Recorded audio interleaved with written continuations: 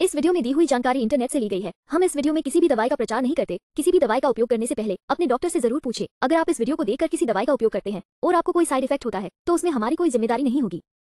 SPL natrum सेलिसिलिकम dilution एक अत्यधिक उपयोगी होम्योपैथिक उपचार है, जिसका उपयोग मुख्य रूप से कई स्वास्थ्य जटिलताओं के इलाज के लिए किया जाता है।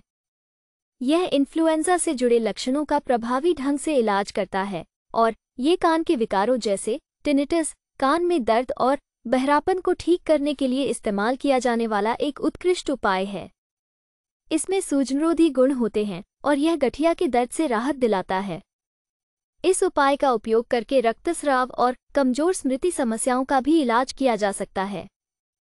चलिए जानते हैं इसके कुछ फायदों के बारे में। एक, चक्कर और चेतना की हानि के साथ गंभीर सिरदर्द को कम करने में प्रभावी। दो आँखों में सूजन और दर्द सहित आँखों के संक्रमण के इलाज में उपयोगी।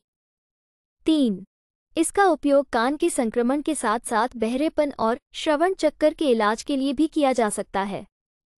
चार, भारी सांस लेने और तेज नाड़ी दर की स्थितियों के इलाज में सहायक।